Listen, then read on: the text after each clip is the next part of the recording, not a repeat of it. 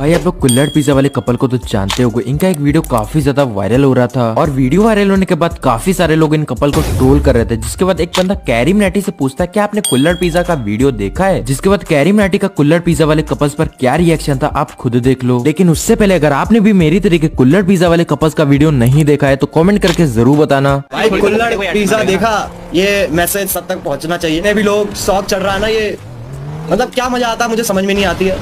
मैं कहूँगा कि अगर तुमने वो वीडियो देखी भी है तो तुम बात के हो one second chat you know it ठीक है? और अगर नहीं देखी है तो बहुत गर्व है मुझे तुम पर।